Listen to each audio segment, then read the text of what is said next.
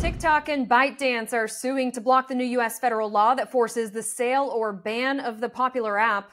In Tuesday's lawsuit, the Chinese company says the new law violates the U.S. Constitution. The petition mentions the First Amendment 27 times.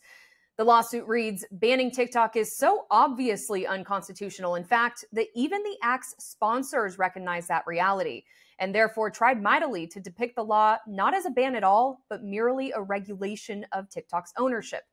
That's because the law gives two options get banned in the US or sell off TikTok.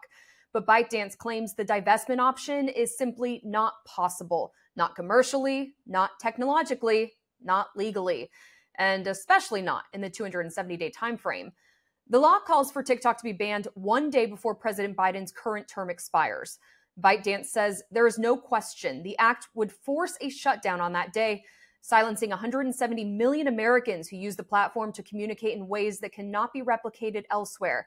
They also said the Chinese government would not let them divest the recommendation algorithm, which makes TikTok so valuable.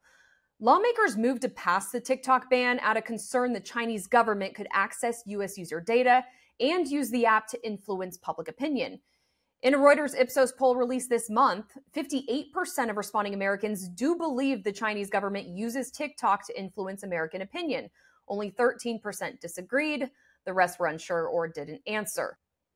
The same poll found 50% of Americans support banning TikTok, 32% oppose, and the rest were unsure. Support for the ban skews older, while Republicans are more likely than Democrats to see China using the app to affect U.S. opinions. Well, despite signing the TikTok ban now in question, Biden is still using the app for his presidential campaign.